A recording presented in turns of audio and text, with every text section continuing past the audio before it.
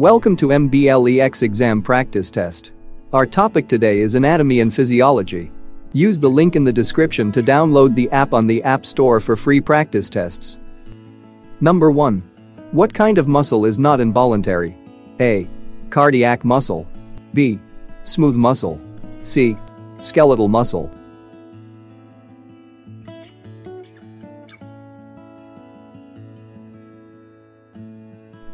The answer is C. Skeletal muscle. Explanation. Skeletal muscle is voluntary or under conscious control and is usually attached to bones. Most body movement is directly caused by the contraction of skeletal muscle. Number 2. Which type of epithelium is composed of multiple layers of cells? A. Stratified epithelium. B. Simple epithelium. C. Pseudostratified epithelium. D. Transitional epithelium. The answer is A. Stratified epithelium. Explanation. Stratified epithelium is composed of multiple layers of cells. Number 3.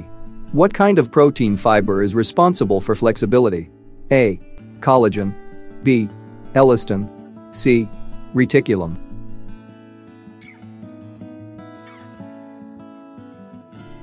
The answer is B. Elastin. Explanation. The primary protein fibers in the matrix are collagen, for strength, elastin, for flexibility, and reticulum, for support. Number 4. Which plane divides the human body into right and left sides? A. The sagittal plane. B. The frontal plane. C. The transverse plane. D. The intersecting plane. The answer is A. The sagittal plane. Explanation. The three primary planes of the human body are frontal, sagittal, and transverse. The frontal, or coronal, plane is a vertical plane that divides the body or organ into front, anterior, and back, posterior, portions. The sagittal, or lateral, plane is a vertical plane divides the body or organ into right and left sides. The transverse, or axial, plane is a horizontal plane that divides the body or organ into upper and lower portions. Number 5. Is the following statement true or false? The ears are medial to the eyes. A. True. B. False.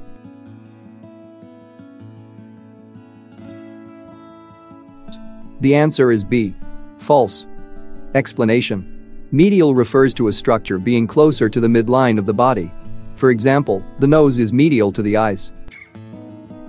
Number 6. Is the following statement true or false? The head is cephalic to the neck. A. True. B. False.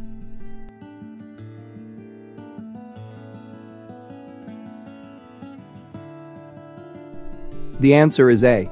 True. Explanation. Superior means above and refers to a structure closer to the head. For example, the head is superior or cephalic to the neck. Number 7. Which term would be used to refer to the body region relating to the chest? A. Ocular. B. Abdominal. C. Brachial. D. Thoracic. The answer is D. Thoracic. Explanation. Thoracic is the term that refers to the body region relating to the chest. Number 8.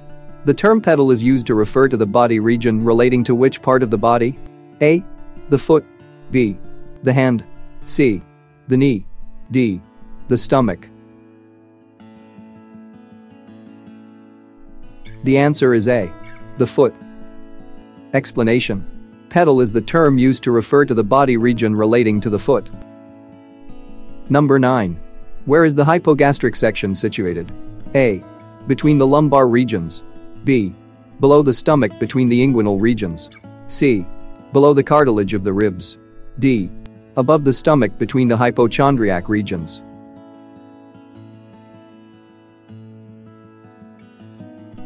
The answer is B. Below the stomach between the inguinal regions. Explanation. Hypogastric section is situated below the stomach between the inguinal regions.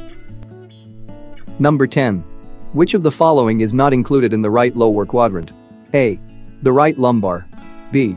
The umbilical regions. C. The hypogastric. D. The right